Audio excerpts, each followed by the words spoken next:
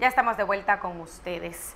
Dionisio Palacios, el exdirector de cedulación del Consejo Supremo Electoral, dijo hoy que no es conveniente prorrogar el vencimiento de la cédula de identidad sin sustituir el documento ciudadano vencido por uno con fecha nueva, pues esto denotaría falta de credibilidad y seriedad en diferentes contextos.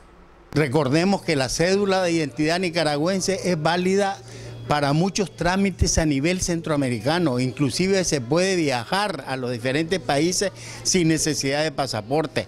Y una cédula vencida con una resolución de validez, pero que la cédula dice vencida en tal fecha, yo no sé realmente si eso tiene validez en los demás países.